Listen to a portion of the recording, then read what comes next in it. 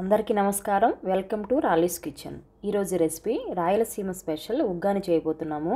బ్రేక్ఫాస్ట్కి కానీ ఈవినింగ్ స్నాక్స్కి కానీ చాలా క్విక్గా తయారు చేసుకునే ఉగ్గాని టేస్ట్తో పాటు హెల్దీగా ఉండేందుకు వెజిటబుల్స్ వేసి ఎలా ప్రిపేర్ చేయాలో చూసేద్దాము. ఒక కప్పు బొరుగులను వాటర్లో వేసి రెండు మూడు నిమిషాల పాటు కలుపుకుంటూ నానబెట్టుకున్న బొరుగులను వాటర్ అంతా పిండేసి ఓ బౌల్లోకి తీసి పెట్టుకోవాలి. ఉగ్గాన్ని ప్రిపేర్ చేసుకోవడానికి నార్మల్ బొరుగుల కంటే కూడాను సాల్టెడ్ బొరుగులు అయితే చాలా బాగుంటాయి.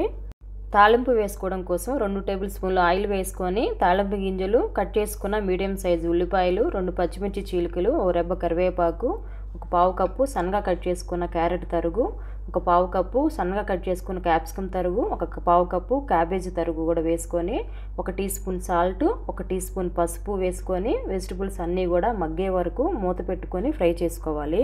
తర్వాత రెండు మీడియం సైజు టమోటాలను కూడా సన్నగా కట్ చేసుకొని యాడ్ చేసుకోవాలి. ఒక చిన్న అల్లం ముక్క రెండు పచ్చిమిర్చీలు ఈ రెండింటిని కూడా దంచుకొని పేస్ట్ లాగా చేసుకొని ఒక టీ స్పూన్ యాడ్ చేసుకోవాలి.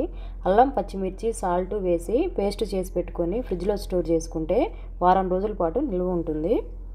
పచ్చిమిర్చి అల్లం పేస్టు రెడీగా ఉంటే కనుక ఉగ్గాని ప్రిపేర్ చేసుకోవడానికి చాలా ఈజీ అవుతుంది. వెజిటబుల్స్ అన్నీ కూడా సాఫ్ట్గా మగ్గిన తర్వాత కడిగి పెట్టుకున్న బొరుగులను యాడ్ చేసుకొని మిక్స్ చేసుకోవాలి.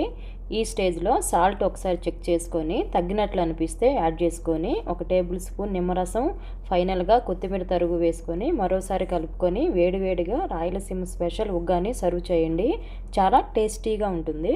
హెల్తీగా క్విక్గా చేసుకునే ఉగ్గాని రెసిపీ మీకు నచ్చినట్లయితే లైక్ చేయడం మర్చిపోకండి. Thanks for watching.